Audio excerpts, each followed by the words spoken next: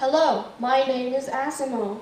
Honda's humanoid robot. It could be the most famous robot in the world. The favorite promotional android made by Japanese manufacturer Honda is the main attraction at this year's Ars Electronica Festival in Linz, Austria.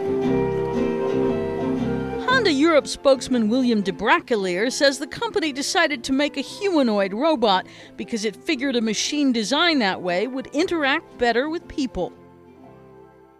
We think having a machine which is looking like us will give much better results as well uh, because this robot will be able to open a door or to open a drawer exactly like we do. The modern version of ASIMO, an acronym for Advanced Step in Innovative Mobility, is a far cry from Honda's early efforts at making a robot, which began back in 1986.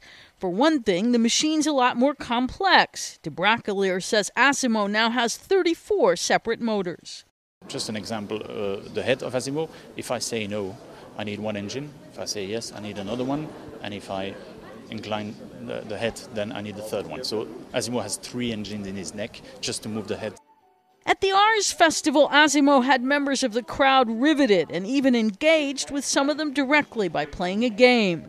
The robot's technology allows it to better predict people's movements so it doesn't get in the way. It can tell whether someone is moved in front or behind and reacts accordingly.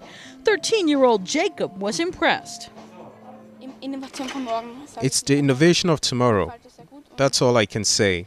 I like this a lot, and I can picture it being part of everyday life 30 years from now. One journalist sees the goal as building robots who can be accepted as something like social beings. Wolfgang Stieler says such machines could be very useful in Japan, where a rapidly aging population will need more personal assistance in the future. So the robots have to at least look like humans, and we have to perceive them as no threat. And this is the case with this cute little guy. If ASIMO's reception in Austria was anything to go by, Honda has certainly accomplished that mission. Thank you very much for coming today. Karen Sloan, The Associated Press.